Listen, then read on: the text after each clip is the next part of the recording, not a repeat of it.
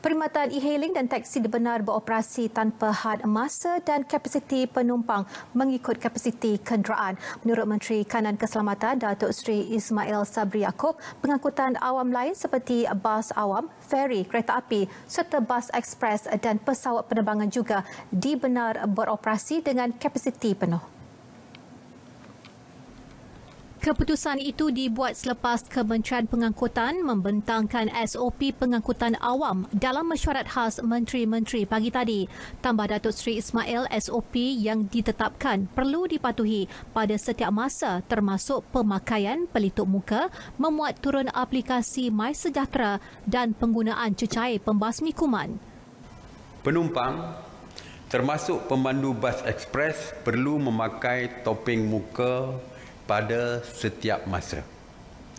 Pengusaha bas perlu memeriksa suhu badan penumpang sebelum menaiki bas dan menyediakan topeng muka kepada penumpang yang tidak mempunyai topeng muka.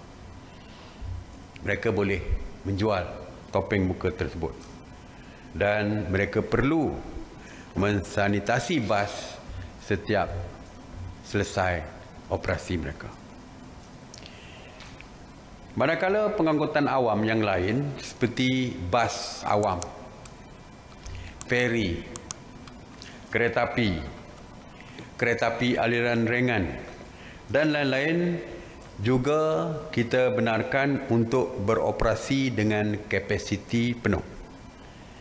Bagi mereka yang membenarkan penumpang, bagi kenderaan yang membenarkan penumpang berdiri sebagai contoh LRT, MRT dan sebagainya penumpang perlu mengawal kendiri penjarakan mereka supaya tidak berhimpit-himpit dan bersesak-sesak sewaktu mereka berdiri. Kerajaan juga bersetuju membenarkan kenderaan persendirian membawa penumpang yang bukan daripada anggota namun kapasitinya perlu mengikut saiz kenderaan.